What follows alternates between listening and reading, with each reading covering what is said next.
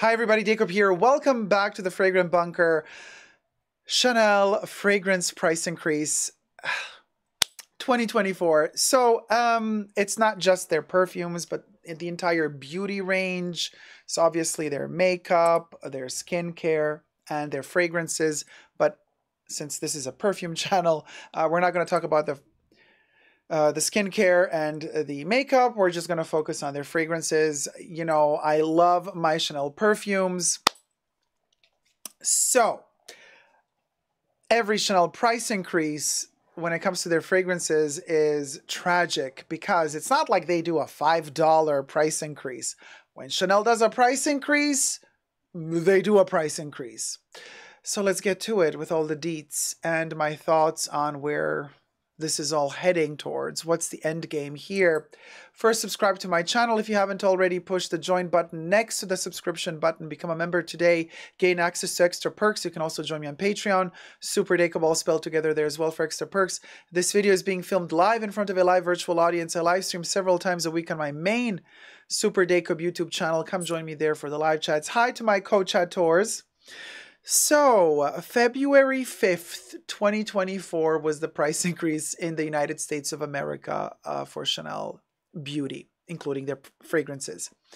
A couple of weeks prior to the US price increase was the European Chanel Beauty price increase, including perfumes. So, just a couple of days before the American price increase, I keep, you know, looking at all the prices. I go to Chanel Europe, all different ones like France mostly, Italy, Spain. I've noticed that Spain increases their prices a day after the rest or two days after the rest of Europe. I don't know why. That sometimes happens. So if you are in Europe, but you need a you need a Spanish address if you want to get the perfume still at a cheaper this has happened last year for the price increase. Um, very fascinating. All the other european countries increased the prices. Spain took two days longer to increase theirs. Then i go to the uk website i check the prices. Us australia like i keep scavenging. Okay. So i notice first the jump happened in europe. And interesting to note for this price increase. By the way, everything I say in this video is for entertainment purposes only, not rooted in truths or facts. Everything's alleged and just my opinion. I've noticed that, uh, thumb up the video and subscribe. I've noticed that Chanel's prices for their mass release perfumes are much more similar uh, between Europe and America than their Les Exclusifs fragrances. Very, very bizarre. Why is that? I don't know. But so if we're like to talk about Coco Noir, the eau de parfum, like the price between Europe and America is almost the same, give or take a couple of bucks, because you know, depending on which state you're in in America, you got to add you got to add the state sales tax on top, um, and that can vary from anything between no tax at all to like 9 10%. But so uh, their price is around about like $160 now for 100 mil eau de parfum. And that's kind of more or less the same between Europe and America. We're really talking a couple of dollars difference. So that's kind of cool that Chanel that has been, you know, Chanel has been telling us since years now, we're trying to harmonize prices. We want to harmonize prices so that the prices are more or less the same worldwide. Sure. Are they though? Are they though? Are they really though? Because and I've noticed also for their pardon me, I'm still recovering from the cold. From a flu, actually. So I'll be coughing from time to time. But I've noticed that they are um they're they're fashion department, clothes, costume jewelry, prices are quite more or less balanced out between Europe and America. Not their sunglasses. their sunglasses have a terrible difference in price. 100, 200, 300 dollars difference sometimes between Europe and America. Terrible. I would never recommend buying Chanel eyewear in, in the States from the Chanel website or from the Chanel boutiques. It, it's it's preposterous that the price of I don't know why they're they're doing that. Same applies to the Les Exclusifs perfumes.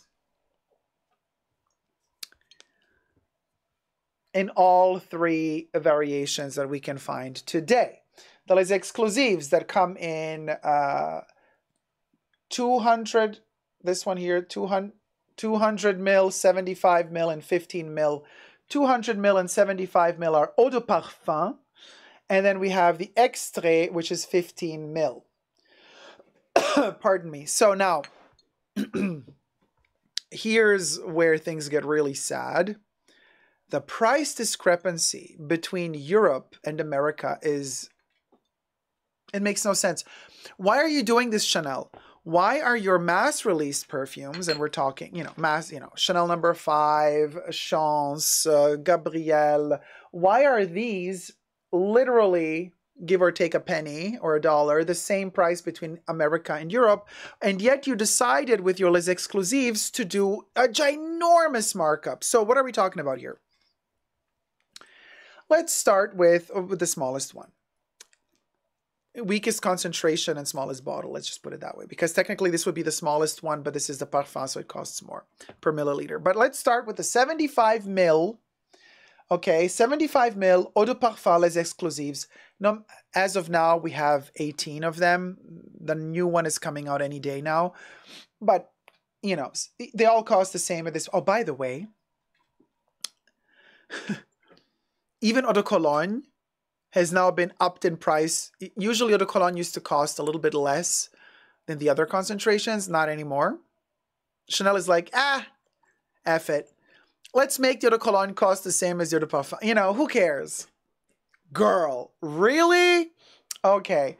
So, anyway, all of their Les Exclusifs 75 mil used to cost before the price increase $300 plus tax. Okay. So if you're looking at around about a 10% state uh, sales tax, you're going to add another $30 on top. Okay. Worst case scenario. So worst case scenario, this baby is going to cost you $330 if you, you know, after tax between 320 and 330 after tax. Before the price increase in Europe, 75 mil eau de parfum Les Exclusifs used to cost 215 euro. That's including tax. That's almost a hundred dollars difference. Actually, it is after tax. It's a hundred dollar difference. Okay. That's insane. Why? Why would they do this discrepancy with the Les Exclusifs, but they but they would not have a discrepancy with their mass release perfumes?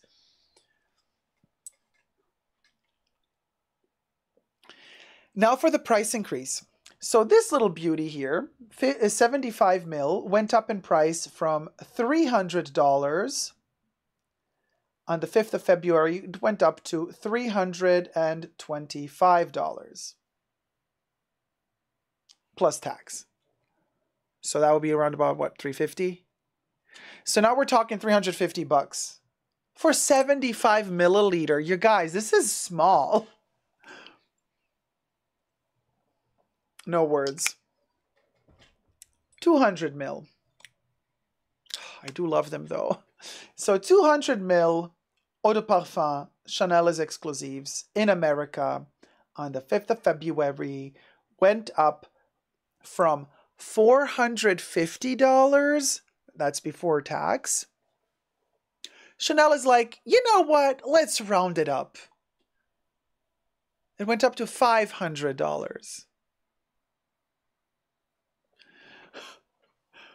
Plus tax, I mean, you're probably going to end up paying 550 $530 to $550 after the tax. $500 they marked it up 50 bucks overnight. 200 mil is $500. In Europe, 200 mil before the price increase was 380 euro.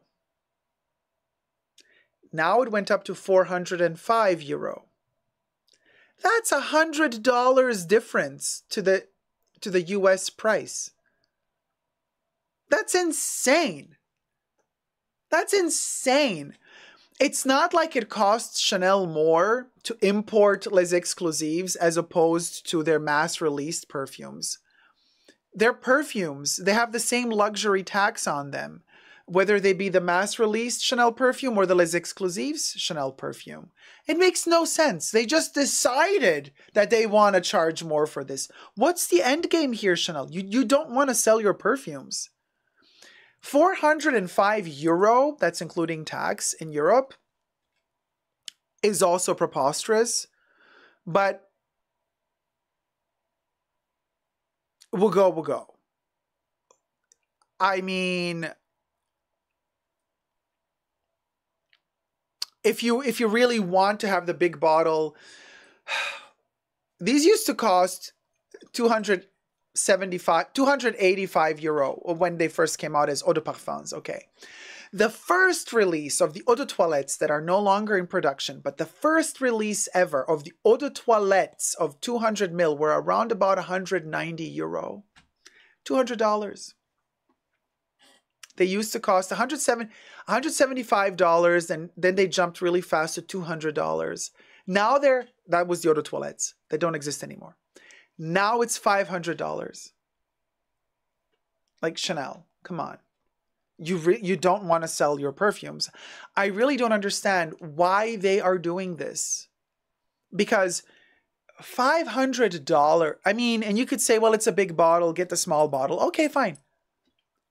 For uh, $325, so $350 after tax. $350 after tax. These used to cost 130 bucks in the eau de toilette back in the day. We've more than doubled in price. The Extrait 15 mil parfum went up uh, in in America from uh, $280 to $305. So this little baby here almost costs the same as this one. So $305 plus tax. So we're looking at around about $320 to $330 for this after tax. I remember back in 2009, I bought Chanel number 22, the extrait. I still have the empty bottle here because I, you know, I, I, I, uh, I, I poured it into a sprayer so I can travel with it easier. I got this one for $140 at the Chanel boutique. $140 at the Chanel boutique. Now we're talking $305. It's more than doubled in price. It's more than doubled in price. In Europe, these used to cost 240 euro. Now they went up to 280 euro. they used to cost 130 100 back in 2009 130 135 euro now they're 280 again also more than doubled in price and here is the point that i'm trying to make thumb up the video but the point is also What's the end game? Chanel has price increases every year. Usually, the price increase for their beauty products hits January, February, or latest beginning of March. And we've seen the tendency where incremental prices, they had a huge price jump last year in Europe. Uh, so this year in Europe, you know, this went up from 380 euro to 405. That is 25 euro markup. Uh, last year, uh, the price jumped really high. They used to cost last year. They cost 330 euro. They jumped to 380 overnight. So there was a 50 euro price increase.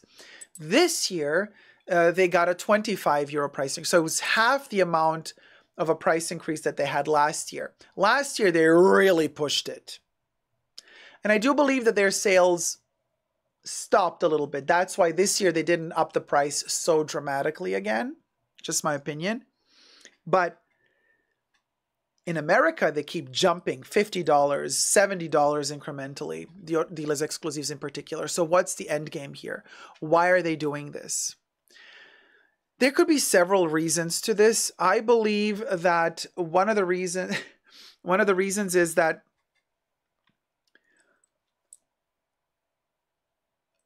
the Les Exclusifs distribution is more limited than their mass released perfumes. In order to be allowed to sell their mass released perfumes, you need uh, to be licensed by Chanel to sell their perfumes.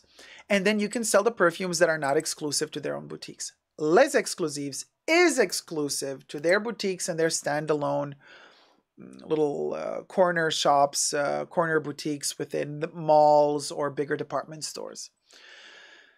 Chanel, since years, has been moving towards becoming completely independent when it comes to their own distribution. This is why back in 2013 14, they started opening their own beauty boutiques.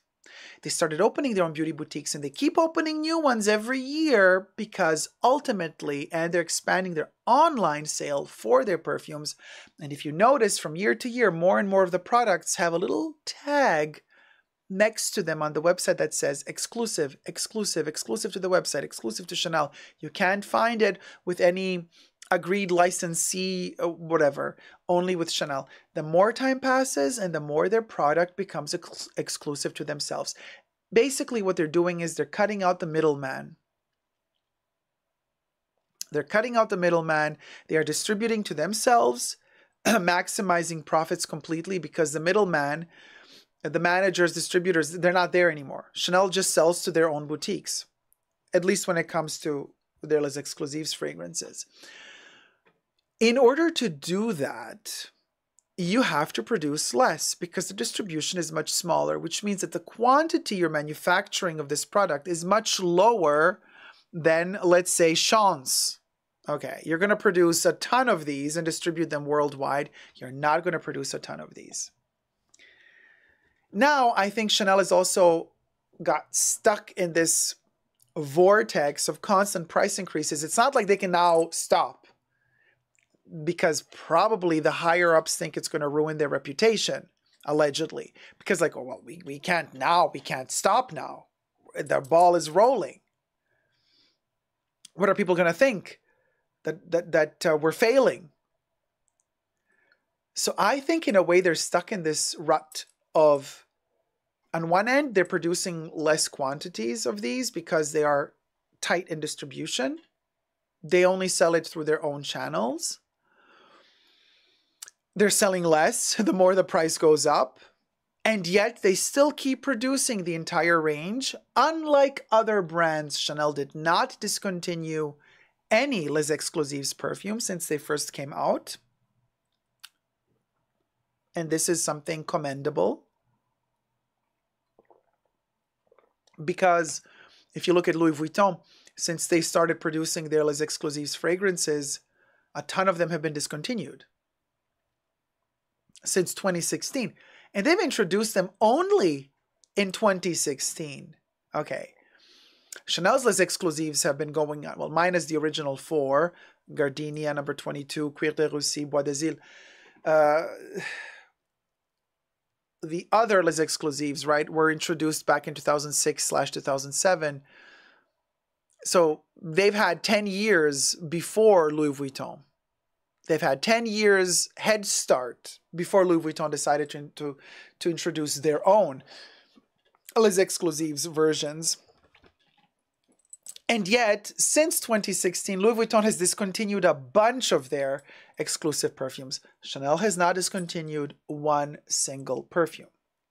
Also, Chanel does not release 20 new perfumes like Louis Vuitton does every year. So they take themselves more seriously. I think Louis Vuitton is making a mistake by releasing so many, but it's a whole different marketing strategy. I mean, it is LVMH after all. All they want is money.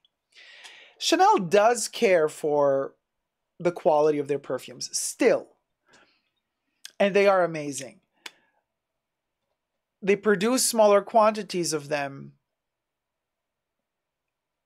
there's almost no profit there. This is what I think is happening, uh, at least with their Les Exclusifs. I think that these perfumes are produced in such small quantities because they're not selling that much. They call them back after a couple of years because, you know, cosmetics and perfumes, they have a shell, shelf life that is limited also by law. Uh, so they call them back. And uh, well, what they do with them after they call them back, uh, I don't want to even say. I don't even want to say it would make me cry. So there's a lot of waste. And the more time passes, the more it costs them to make these. Why? Because they sell less. So now the clients like myself, who still keeps buying Chanel, I'm very well aware of the fact that when I buy a Les Exclusifs perfume, when I buy one, it's like I bought two. It's like I'm buying one for the person that can't buy it anymore. So Chanel is charging me for two to keep being able to produce them. And they're still not really working at a profit. Every time I, I talk to my, well, they're not working at a profit with the Les Exclusifs, not with the mass releases. Okay. And this is according to my sales associate my Chanel sales associate who keeps telling me, Jacob, every time we have a briefing, they tell us we don't make money with these. These are sold. They're made. They're there for looks. They're they're there for prestige. They're there for to to to say we care. This is an important product for us. It is our, you know, high end and high end product. It's there for our image. So those profits, they keep telling their own staff, we're not working at a we're not maximizing our profits with these this is why i believe they have to up the prices of these much more than they do for their mass releases in a way i believe them um, that their mass releases are carrying also the cost for these these are really special like when you buy this one um, you're getting something really special. You, all Chanel perfumes are special, but you are getting something special. Now, does it hurt that the prices are so high? It totally does. Is this thing worth $500?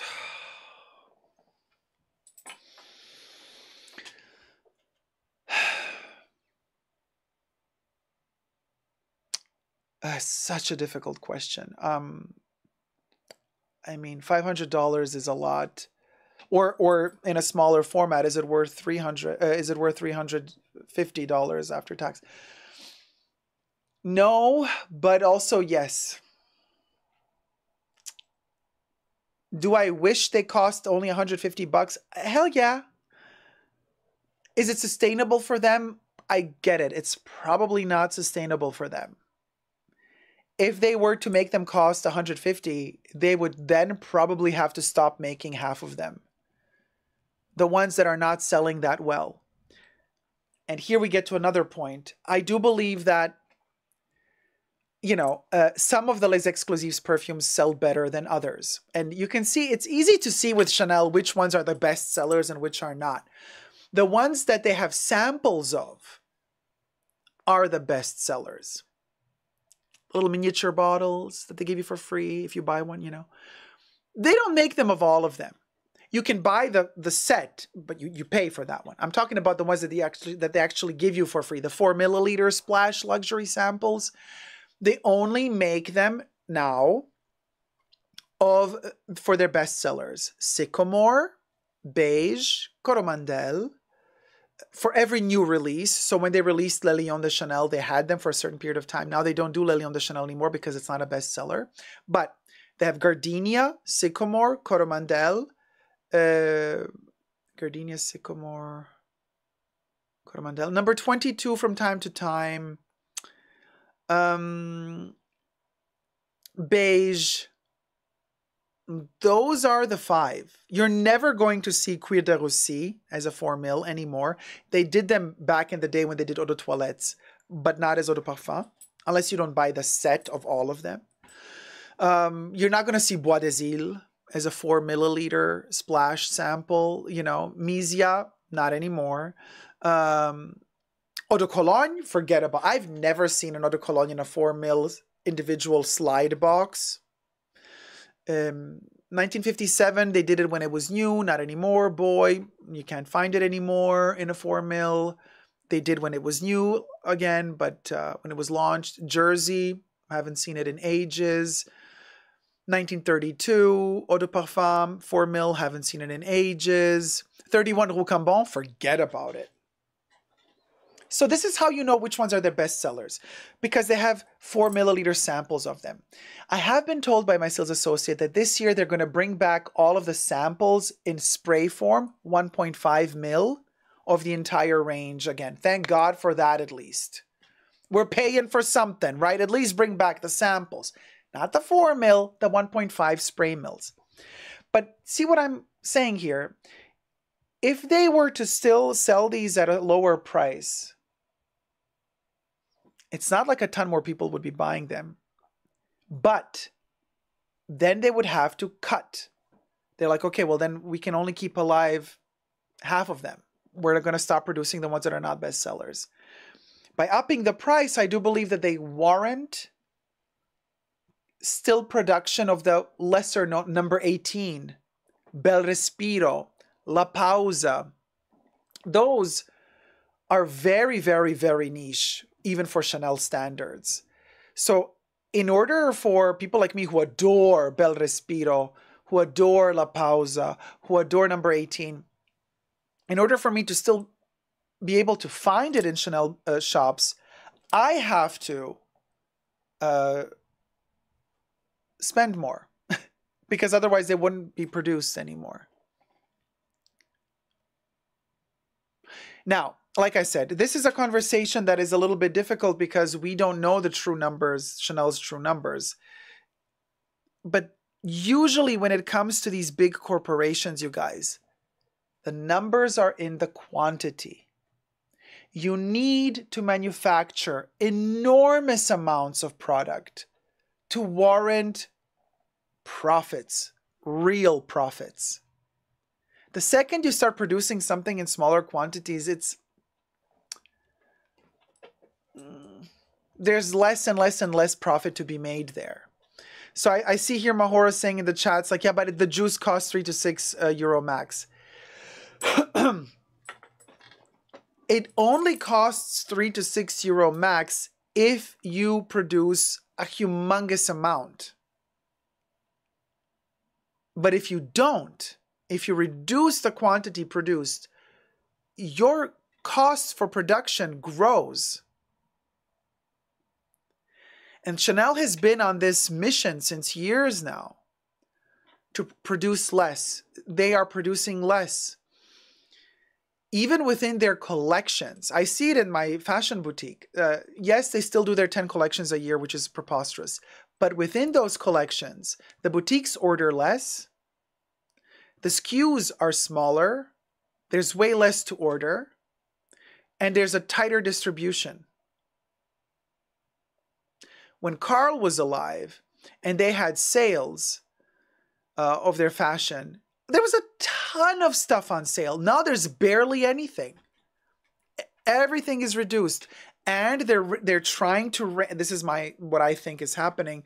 They're reining their distribution back to themselves. They want to one day. I think the end game is to become completely self-distributed and only to sell through their own boutiques and channels. So you can imagine what that means. That means that it's going to become even more limited.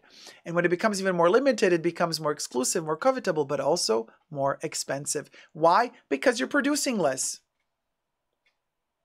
Automatically, the price rises. Now, the question is is the quality going to remain really good? For now, Les Exclusifs Chanel uh, perfume quality is top notch. I adore their perfumes. I think they're amazing. if they keep the quality as is, um, I'm in it for the ride for now.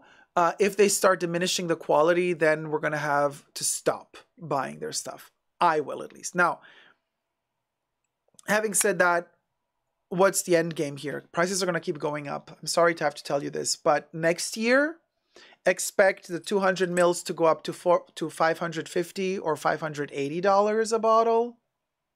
Expect the 75 mil to go up to $400 next year, and expect the extraits to go up from $305 to around about $360 to $350.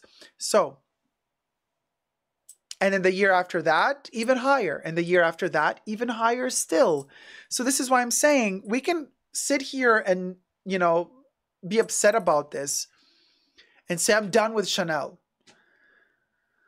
Yeah, we can. But at the same time, their perfumes, for me personally, are the best out there, quality wise and composition wise. So I'm going to keep buying. For how long? I don't know. I'll be buying less.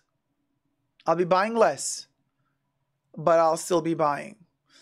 What are your thoughts? Are you going to be buying more or less? So Ollie says, I really want some juice now. Gloria says, it's too much for me. I got to look elsewhere. Tina says, also the inflation. Mahora says, it's over. Chanel is for the rich only. Uh, Jolie says, searching for other scents now. Um, Finley says, it's insane. Ah, and Finley also says, well, gotta make what I have last.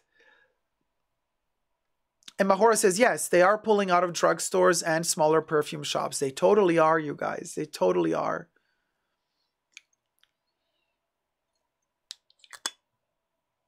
So,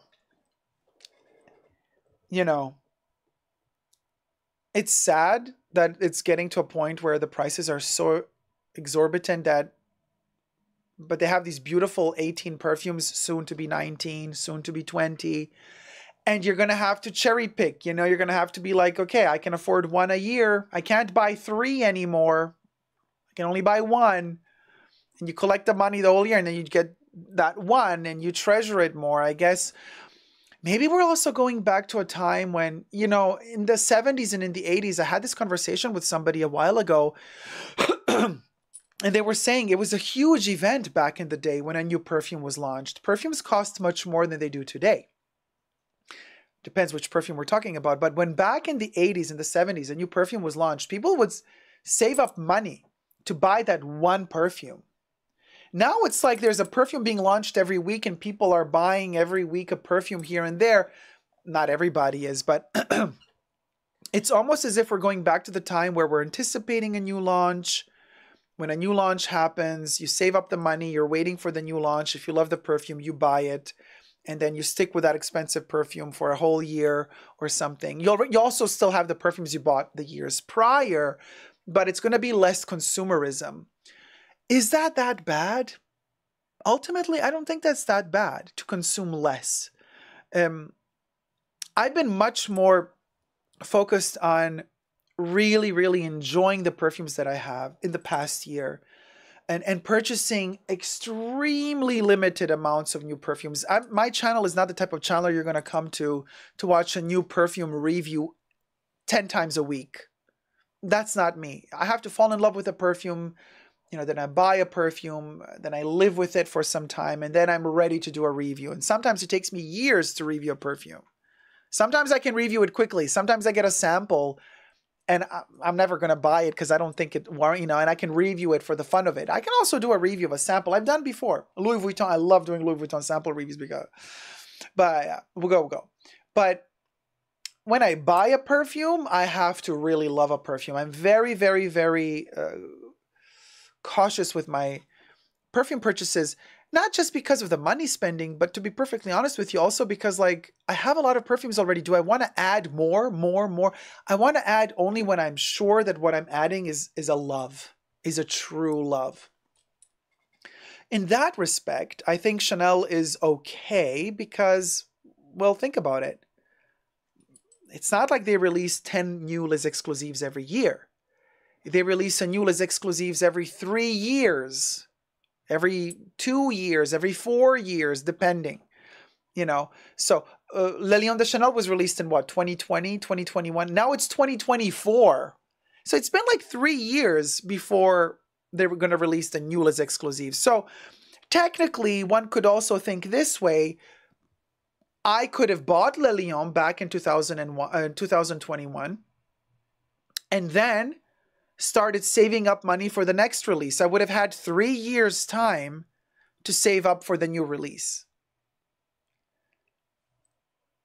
Yes, in those three years, I would have bought almost no other perfume because I've been saving up money to buy it. But if if my focus is Chanel and I love their perfumes, you see what I mean? It's not like they're messing with us and they're releasing two Les exclusifs every three months and then you're like, oh my God, I'm a collector. How am I going to keep up with this? I can't spend $1,500 every two months on perfumes.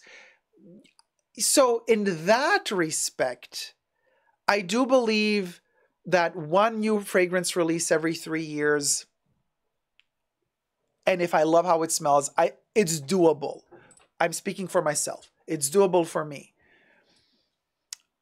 So as long as they keep it like that, very modest release, time wise, I'm good. If they start dropping Les Exclusifs perfumes five times a year for $500 a bottle, no. Then I'm also going to say no, we're done here. But they're keeping it very slow and elegant. And I'm like, okay, we can play this game still even though it's getting really hard. So those are my thoughts. There was a lot to say here because this price increase really triggered a lot of these thoughts in me. Let me know what you think in the comment section down below. What do you think their end game is? And will you still keep buying Chanel perfumes? Yes or no? Subscribe, thumb up the video, and until next time, never forget to never give up on love. Love you loads. Take care. Bye.